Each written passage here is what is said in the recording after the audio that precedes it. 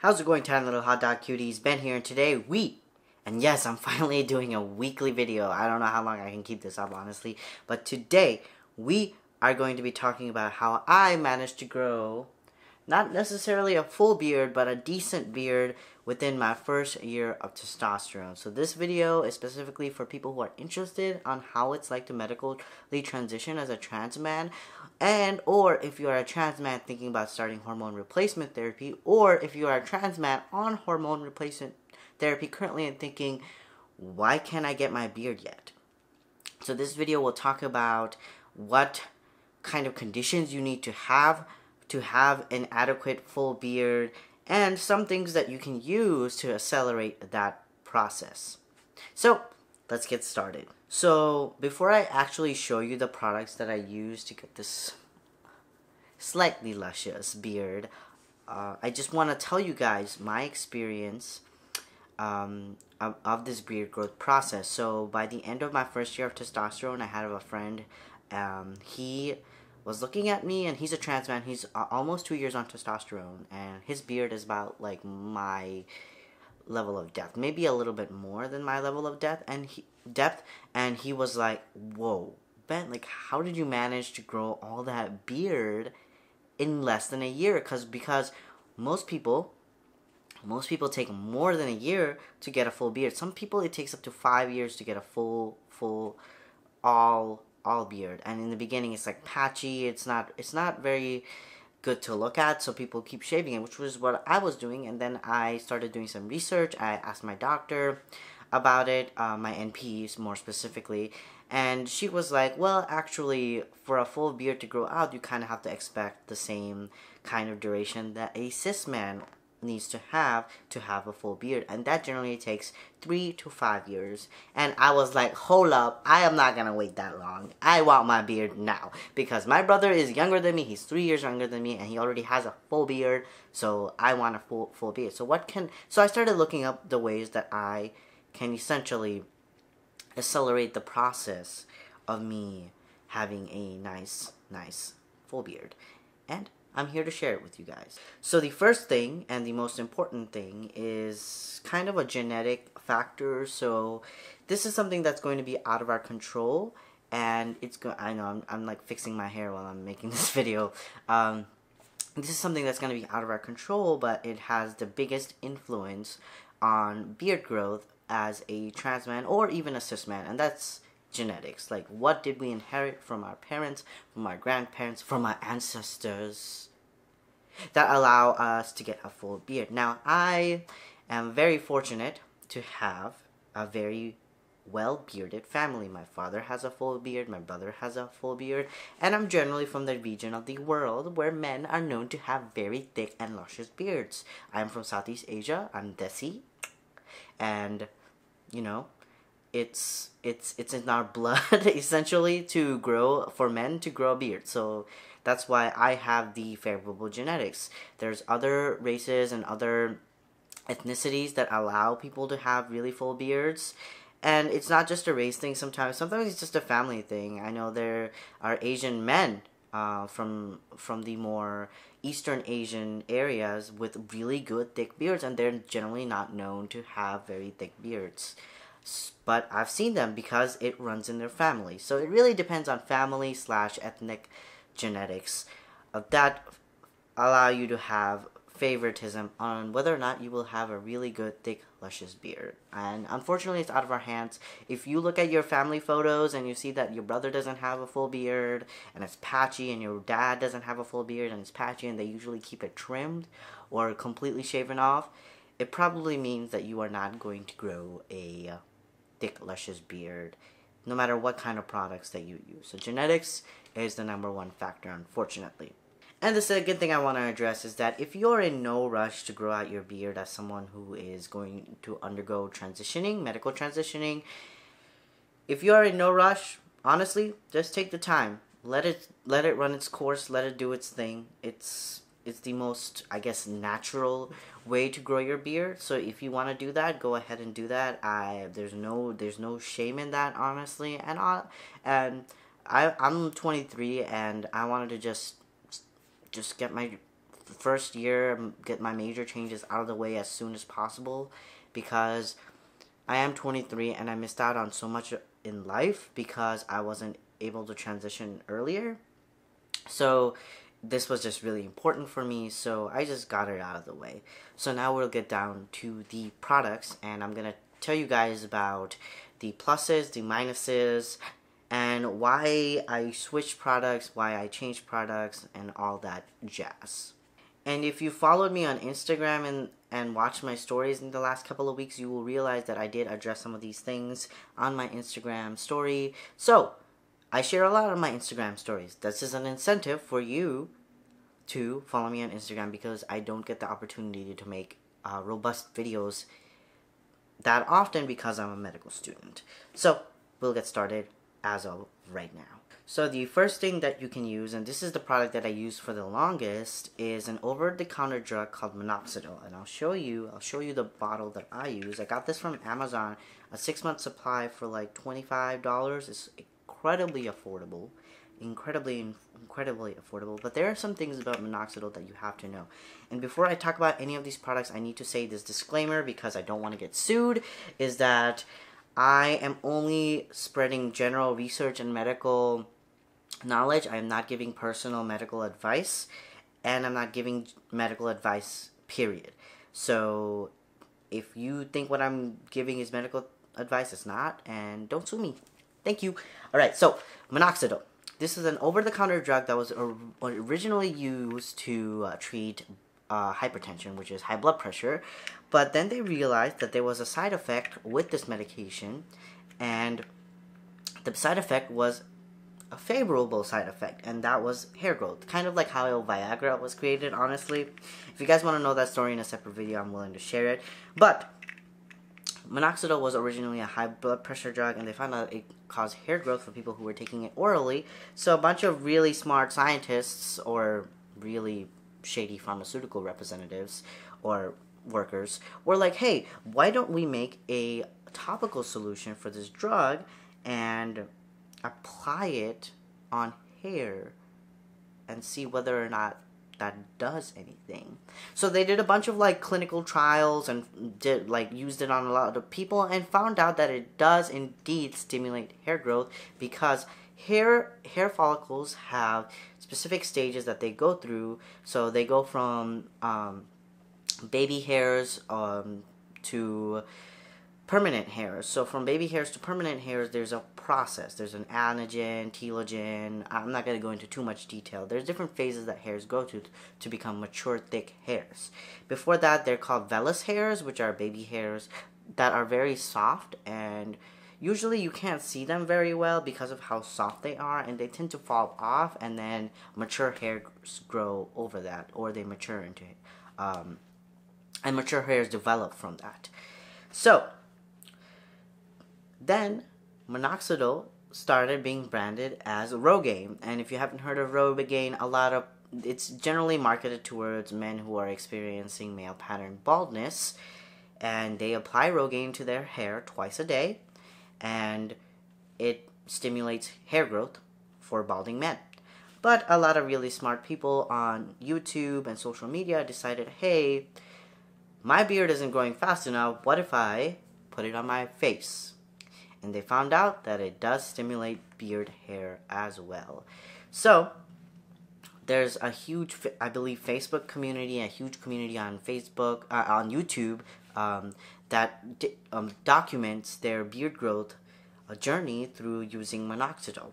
However, minoxidil is not a miracle drug.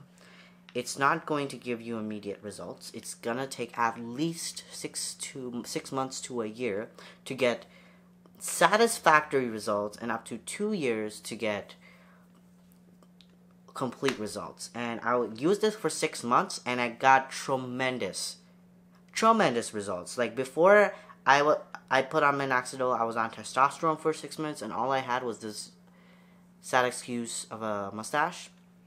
I used minoxidil for six months and I had beard growth all the way here and all the way here. So very, very, very impressive. However, I had to stop using minoxidil. There are a couple reasons why.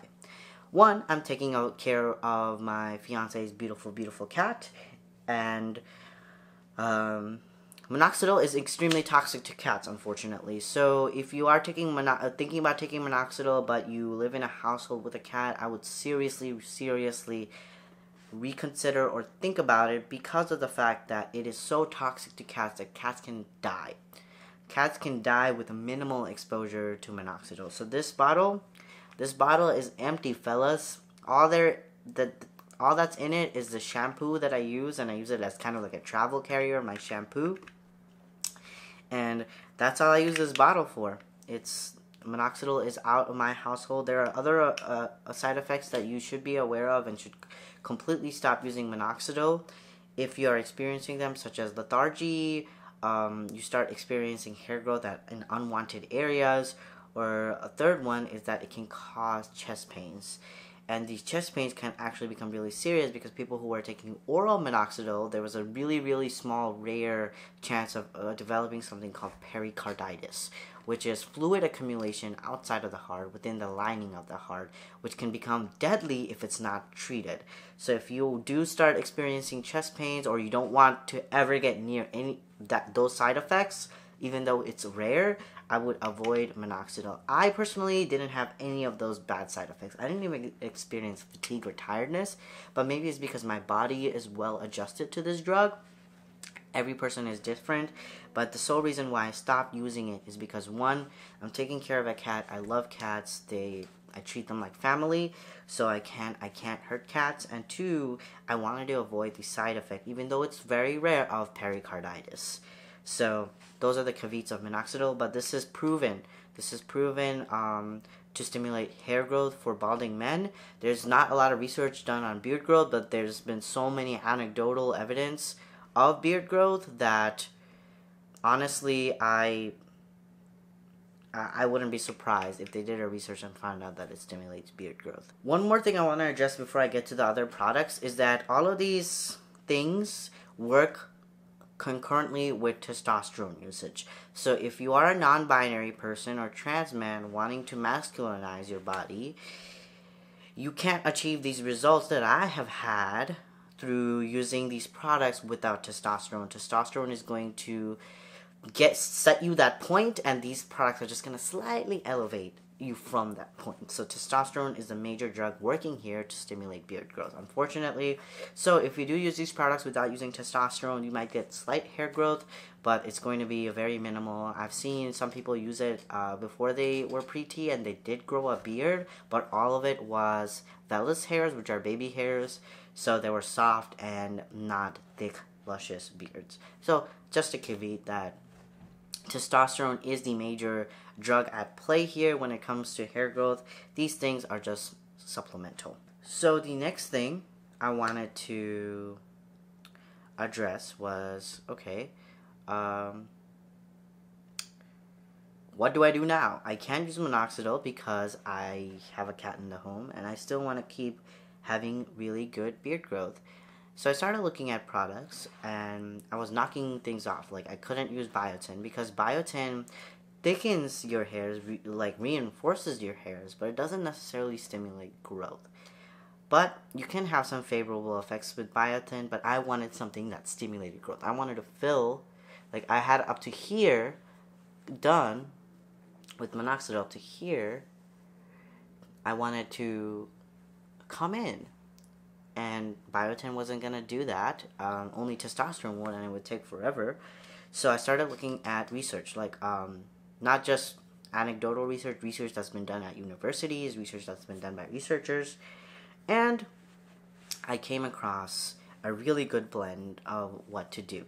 So it's a combination of anecdotal and medically backed research. The one product that I have seen that has done equivalent to minoxidil and probably even higher results than minoxidil is peppermint oil. And I have a container right here. This is the container of peppermint oil. I'm gonna bring it right here. I'm gonna zoom it in in like a B-roll, but like peppermint oil is the product and here is the research behind it. So, a bunch of scientists got together and did research on mice or rats, some kind of rat looking animal. I am not familiar with whether it was mice or rats. But they did it on rats, so there's a caveat. They did not test this on humans, but they decided to test rats with uh, just regular jojoba oil, peppermint oil, and minoxidil. And the peppermint oil was a 5% solution, so this is a 100% solution that I bought. So I do dilute it, and I'll show you how what I dilute it with. And they diluted their peppermint oil with, uh, I believe, castor or jojoba oil, but some kind of uh, average carrier oil that that you would use when you mix essential oils together. So they used it on the mice for four weeks, and they found that this is incredible. Uh, I will link you guys down to the research article below so you guys can check it out. Um, but they found that peppermint oil did as well as minoxidil, if not better in some cases. Even though it wasn't performed on humans, mice are generally a really good, a really good uh, interpretation of what can what kind of results you can expect on humans. So I was really convinced that peppermint oil was going to work, and in addition to that, instead of using a regular castor oil or a regular jojoba oil as a carrier, I decided to buy Jamaican black castor oil. Now, this is really known for, anecdotally, because there's not a lot of research on it, this one is anecdotally known for creating thicker hair. Thicker hair and stimulating thick, thick hair growth. So even though you're you have few a few hairs, your hair is gonna look really, really thick. So I decided to use this in addition to like general anecdotal evidence of this working. A lot of men who were using minoxidil would use this as a um, substitute with the minoxidil usage because one other side effect that I forgot to mention with minoxidil is that minoxidil because it's suspended in alcohol dries out your skin like crazy. I swear I had dandruff beard for months and it made me super super self-conscious like incredibly self-conscious so i'm so glad about switching to this oil base um, 100% oil base instead of an alcohol base because my skin was drying out like crazy. But another thing you can use is that minoxidil, there's a more expensive version, which is the foam, and I have heard that the foam causes less dryness and it tends to evaporate quicker, so you won't have that dryness with an alcohol based um, solution, but it's gonna cost you more, unfortunately.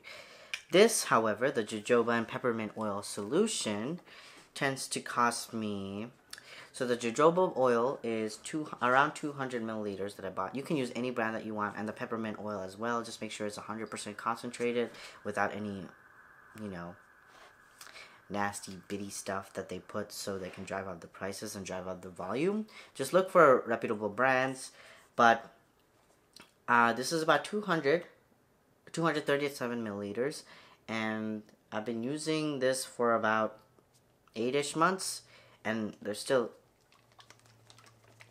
a little bit inside. And this peppermint oil was around $20 as well. This is 118 milliliters. This will last me for years, like years on end. Because the solution I make is a 5% solution, similar to a 5% solution of minoxidil. I don't know if they translate well with one another, but in the research they used 3% minoxidil and 3% peppermint oil, and they found out that the peppermint oil made got better results. So because I'm using 5% minoxidil, I just made a 5% solution. So what I do is I have a container to hold the oil in, like this one right here. And I put in 95 milliliters of Jamaican black castor oil and 5 milliliters of peppermint oil. And I make this beautiful solution. Um, the Jamaican black castor oil tends to be extremely, ex extremely thick. This, because I add the peppermint oil, tends to be a, a lot better consistency. It also smells really good. It's it's actually a really, really, really good um, solution to make. It's really easy to make. I feel like a scientist. I feel like I'm back in organic chemistry um, when I when I make this solution. But it's really easy to do, and this this will last me at least at least four to six months. and I apply it twice a day, just like minoxidil. And honestly, I've been getting pretty good results. My hairs are coming in from the sides. It definitely has improved. I don't know how much of it is just testosterone and how much of it is the solution, but I have better peace of mind using this solution than using the minoxidil with a cat in the home. And now that I'm going to interact with the cat for a lot of my time. So, there you guys have it. Like, those are the products that I have used and I've gotten successful results with. I highly, highly recommend it. One side effect that I will mention is that this guy, because there's peppermint oil in it, peppermint oil is a derivative, uh, is menthol is derived from peppermint oil. It causes a bit of um, Vicks VapoRub feeling or in your face when you apply it for about 30 30-ish minutes. So I apply apply it to my eyebrows and I apply it to my beard and I get that Vic, Vicks VapoRub feeling for a solid 30 minutes to an hour. Not a big deal honestly, especially because when I was using minoxidil, this thing made my face itch incredibly, incredibly. So uh, there's just so many pros with this. There are there is a pro with minoxidil in that it has proven to work for hundreds of people, and it's they have done clinical trials on humans with. So I do get the appeal of minoxidil, but uh, for me, a natural, low cost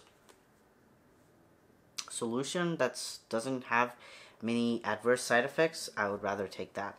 So there you guys have it. That's how I was able to grow almost a full luscious beard in my first year of testosterone. I'm going to be continuing to use this until my beard goes completely in and then I'm going to switch to a regular beard oil. I might still keep using this solution for the rest of my life, honestly, because as you age, you know, hair thins and you start losing hairs.